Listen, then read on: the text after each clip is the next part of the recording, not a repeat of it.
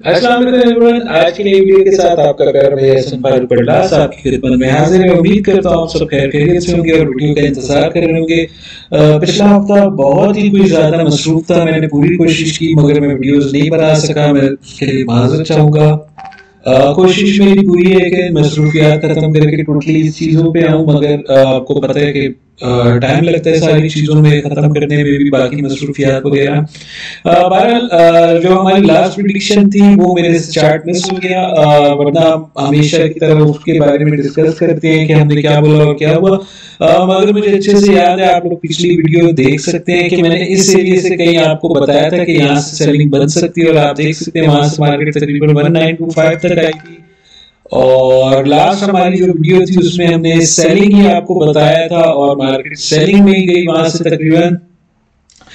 आज की तरफ़ आते हैं। आज क्या मार्केट कहने जा रही है, साथ में आपको मैं कोशिश भी करूँगा सिखाने की लेवल्स वगैरह सारी चीज़ें। इसमें सबसे पहली चीज़ जो हमने तीन तरीकों से हम पता लगाते हैं कि हमने ट्रेड किस तरीके से करनी है। सबसे पहले हम देखते हैं कि हमने आज करना है क्या बाय करना है या सेल करना है। तो उसमें हमारे पास जो है वो आज भी सेलिंग दिखाई जा रही है। अगर हम वॉल्यूम की बात करें, बहुत ज़्यादा ट्रेडर इस बाय में फंसा हुआ है। उसकी वजह आप देख सकते हैं कि ये जो एनएफपी पे बाय का एक मूव दिखाया गया उसमें बहुत सारे लोगों ने ये समझ के बाय किया कि मार्केट यहाँ से बाय में जाने वाली है। तो मेरा ये मानना है कि मार्केट को उसके अपोजिट लेके जाया जाएगा, यानी कि सेलिंग में लेके जाया जाएगा।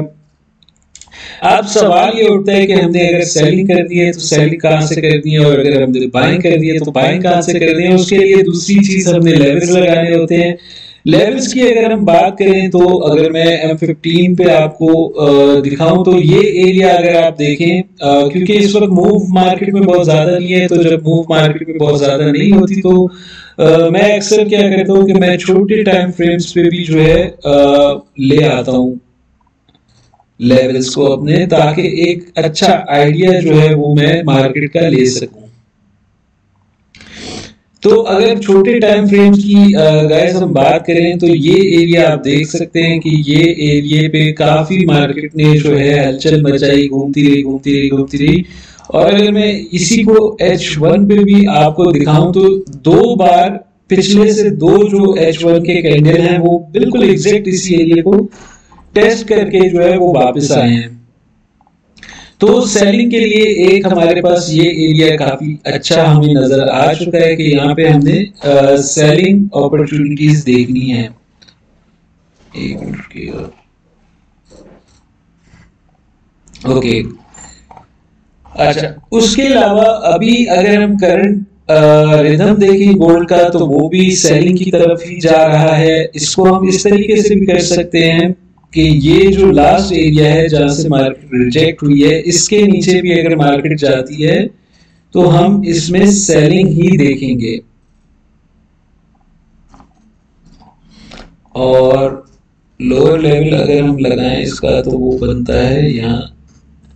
ये लेवल मैंने क्यों लगाया कि आप देख सकते हैं कि सबसे लोएस्ट अगर हम बात करें तो मार्केट इन लेवल को बार बार टेस्ट करके वापस आई है तो अब हमारे पास एक आज की एक क्लियर चाल बनती हुई नज़र आ रही है कि अगर ब्रेक होता है 1934 H1 से, यानी कि H1 का एक कैंडल इससे नीचे बंद होता है तो मार्केट जाएगी कहा?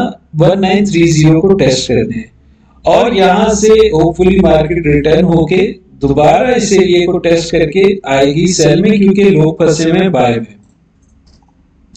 तो एक तो हमारे पास ये क्लियर पिक्चर आ गई है आज की, ठीक है?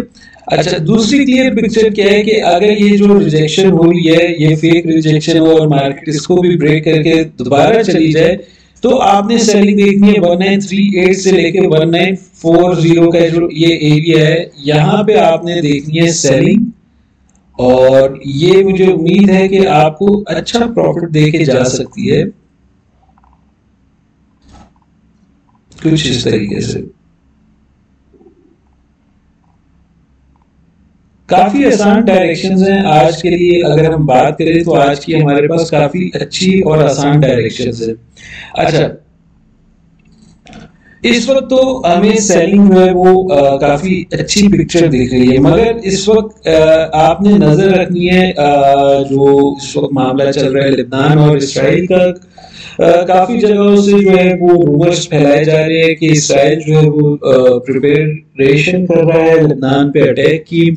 इसके अलावा सऊदी अरब ने और यूएई बेसिस ने भी अपने सिटीजन्स को वहाँ से निकालना शुरू कर दिया तो माजर चाहूँगा अगर कोई इस तरह का कॉन्फ्लिक्ट और स्टार्ट हो जाता है। जैसे आप लोगों को पता है ऑलरेडी यूक्रेन और रशिया का कॉन्फ्लिक्ट चल रहा है। जिसने गोल्ड को इतने अपने हाई पे पहुँचाया।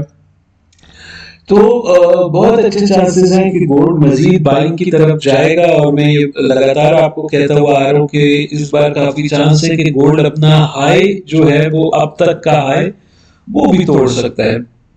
आज कोई फंडामेंटल न्यूज़ नहीं है, मगर आप नज़र रखें क्योंकि बहुत तेज़ी से डेवलपमेंट हो रही है उस एरिया पे। तो आप अल जजीरा पे चेक कर सकते हैं या खुद से बार बार सर्च करके आप चेक कर सकते हैं कि क्या सूरत हाल चल रही है। अच्छा इसमें एक चीज़ है कि अगर फ़र्ज़ कर लें कि उस हवाले से कोई न्यूज़ आती है और गोल्ड ब्रेक करता है 1939 का एरिया तो ये जाएगा टेस्ट करने 1945 को। तो ये मैं वैसे ही आपको बता रहा हूँ कि अगर इस तरह का कोई स्नेरियो होता है तो गोल्ड टेस्ट करने जाएगा इस एरिए को। देखिए मार्केट में क्या होता है कि अक्सर आप लोगों को मैं बता चुका हूँ कि अक्सर क्या बेशतर जो है नाइन्टी परसेंट लोगों को लॉस करवाया जाता है, उसी वक्त से जो है स्मार्ट मनी पैसा कमाता है। फॉरेक्स के ज़ाहिर एक अगर आप बाय कर रहे हो तो दूसरा कोई सेल कर रहा होगा, तभी आप बाय कर पा रहे हो। नहीं, अगर आप सेल कर रहे हो तो दूसरा आपसे कोई चीज़ खरीद रहा है, तभी आप सेल कर पा रहे हो। तो अगर आपको प्रॉफिट हो रहा होता है तो दूसरे को नुकसान हो रहा होता है, दूसरे को नुकसान हो रहा होता है, आपको प्रॉफिट हो रहा होता है।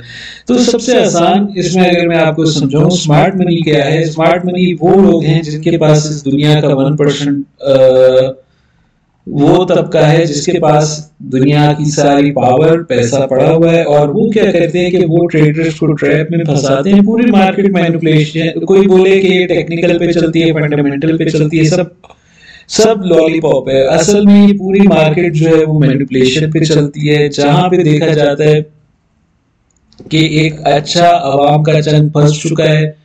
उसके अगेंस्ट मार्केट को लेके चले जाते हैं। ये ज़ाहिर सी बात है, आसान लफ्जों में मैं अगर बताऊँ, फ़र्ज़ करो कि आप लोग जितने भी लोग वीडियो देख रहे हो, आप लोगों के पास टोटल आप सबकी जो नेटवर्थ है, वो पचास करोड़ है। एक मैं मिसाल दे रहा हूँ, उसको मिसाल तक रखिएगा। और मेरे पास जो है, वो सौ करोड़ है। ठीक है, आप सबके पास पचास करोड़, मेरे पास सौ करोड़। अब मैंने क्या किया यहाँ पे? मैंने अपने पैसे लगा लगा के थोड़े थोड़े पैसे लगा लगा के मार्केट को बाय भी लेके गया। जब मैंने देखा कि पूरा पचास करोड़ की आवाम जो है वो बाय में बैठ गई है, मैंने उनसे यहाँ पे खरीदा। तो सॉरी मैंने उन्हें यहाँ पे बेचा। अब मार्केट को मैं मजीद जो मेरे पास पैसा था, उससे मैं मार्केट को सेल में लेके गया। उसके बाद में यहीं पे वो जो आप लोगों से चीज़ मैंने सौ की बेची थी आपको, वो मैं दोबारा आपसे पचास की खरीदूँगा, आपका पचास का नुकसान हुआ, मेरा पचास का फ़ायदा हुआ। फिर मैं मार्केट को ऊपर लेके जाऊँगा, पूरी हवा फैलाऊँगा कि मार्केट मजीद बाय में जाएगी। अब वो जो मैंने पहले सौ रुपए में आपको चीज़ बेची थी और पचास में खरीदी थी, वही चीज़ दोबारा मैं आपको 200 में बेचूँगा और दोबारा मार्केट को रिवर्स करके उसको मैं सौ पे ले जाऊँगा। और आप लोगों से दोबारा सौ रुपए में वो चीज़ मैं कमाऊँगा तो आप लोगों का नुकसान हुआ डेढ़ सौ, मेरा हुआ डेढ़ सौ का प्रॉफिट इस तरीके से आसान लफ्जों में ये मैनिपुलेशन करते हैं, सारी चीज़ें करते हैं। और लॉलीपॉप दे के हम जैसे छोटे ट्रेडर्स को अपना फ़ायदा उठाते हैं तो गाइस ये हमारी आज की वीडियो थी। उम्मीद करता हूँ आपको पसंद आई होगी, कुछ नया सीखने को मिला होगा। प्लीज़ वीडियो को शेयर करें। चैनल को लाजमी सब्सक्राइब करें बेल का आइकन क्लिक करें। और ज़्यादा से ज़्यादा लोगों तक हमारा पैगाम पहुंचाएँ। दुआ में याद रखें। अल्लाह